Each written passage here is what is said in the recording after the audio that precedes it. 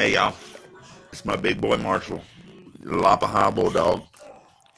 He's my crazy one. He's only three. He's a good boy. Checks the house.